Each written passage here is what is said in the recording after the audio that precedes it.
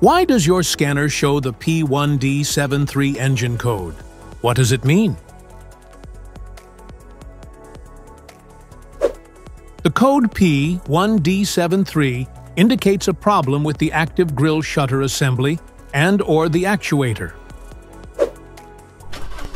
It indicates that the PCM has detected a message from the active grille shutter actuator that the open to close position travel is above 100 degrees, which is beyond its normal operating range.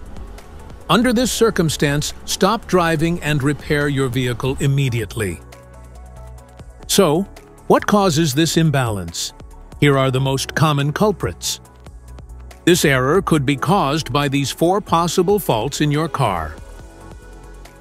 Debris, loose or damaged wiring, actuator wire, motor problems. Each DTC code corresponds to a specific issue in your vehicle. This engine code appears in various OBD2 vehicles, especially in Ram, Dodge, Jeep, and Chrysler vehicles. If you want to fix this error code, let us know in the comments section.